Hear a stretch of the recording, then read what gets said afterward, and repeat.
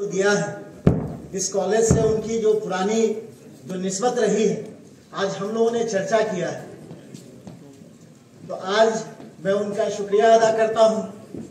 उनको बहुत जीटीसीएच की ओर से, गवर्नमेंट तिब्बी कॉलेज की ओर से आपको धन्यवाद पेश करता हूँ।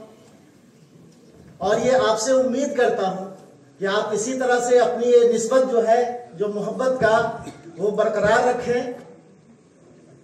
आज ऐसे वक्त पे आप आए हैं, बहुत कहीं आपका और भी शेड्यूल तय है। आपसे बहुत सारी चीज़ें इस कॉलेज के निस्बत से मुझे लगता है कि प्रिंसिपल साहब को मांगना था, अपने बच्चों को, उनको अपनी आवाज़ आप तक पहुंचानी थी। तो आपको शुक्रिया कहते हुए बस एक चीज़ आपसे गुजारिश करूँगा कि आयुष की जहाँ तक मुझे जानकारी है, वो बिहार सरकार ने बड़े ही दिनों के बाद जो एक तीन हज़ार बत्तीस सौ तैतीस सौ की वैकेंसी वो पेंडिंग है रिज़ल्ट अभी उसके लिए आप चूँकि विधि मंत्री भी है, बिहार सरकार के, सरकार की ये मंशा रही है हमेशा कि स्वास्थ्य व्यवस्था को कैसे सुदृढ़ करना है, उसके लिए आप हमेशा सतत प्रयासशील रहे हैं। तो आपसे एक गुजारिश है कि उसको जल्द से जल्द मुकम्मल तौर पे रिज़ल्ट उसकी घोषित करवा कर करके इन बच्चों को नहीं, आज जो है वो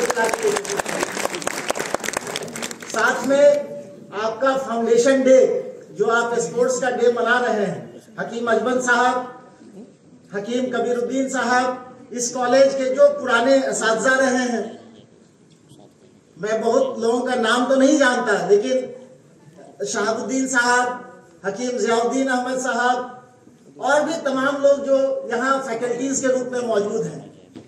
हमारे तोहिद किबरिया सर हैं। इन सब लोगों ने मिलकर के इस कॉलेज की बुनियाद को मुस्तकम बनाने में एक अहम रोल अदा किया है। तमाम डॉक्टर्स चाहे वो अलग अलग पैचेज से आते हैं, मैं आपको बताते हुए बड़ी खुशी हो रही है कि आपकी सरकार ने सारे आयुष कॉलेज में आज मॉडर्न पैथी के भी सब्जेक्ट्स को इंट्रोड्यूस किया है और उसके भी डॉक्टर्स यहाँ मौजूद हैं। तो लोगों को जनजीवन को बेहतर बनाने के लिए लोगों को हर तरह की पैथी की सुविधा मौजूद है।